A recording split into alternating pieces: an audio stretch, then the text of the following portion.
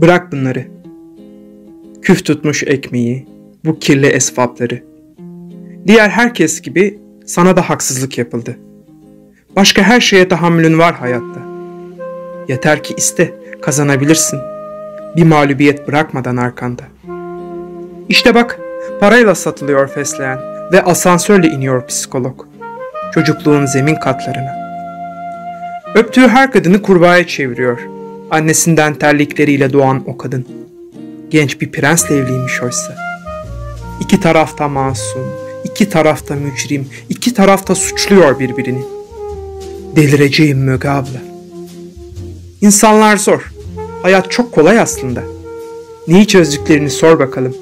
Su doku çözen ihtiyarların, bağcıklarından başka. Satın alma sevgiyi, sahiplen. Şartlar ne olursa olsun gülümse hayata. Jean de La Fontaine'in fondötenden farkını öğrendiğin gibi benimle yaşamayı da öğrenmelisin. Aslına bakarsan seni kırmak istemiştim. Aman tanrım gerçekten bir delisin. Hele bunlara, hele bunlara sakın yaklaşma. Biliyorum çok güzeller ama sen bir karaca olan değilsin. Hayvanseverleri tut, hayvanları bırak. Gül teninde solan hatırım için haksız tahrik indirimi uygula. 23 yılın üçte biri ve intihar kelimesi. Yaşamak humması bu tutulduğun adım gibi biliyorum. Üşüyorsun. Öyle daraldı ki içinde ruhun, sündürdün derini. Bir tabuta sağarken cümle eşya.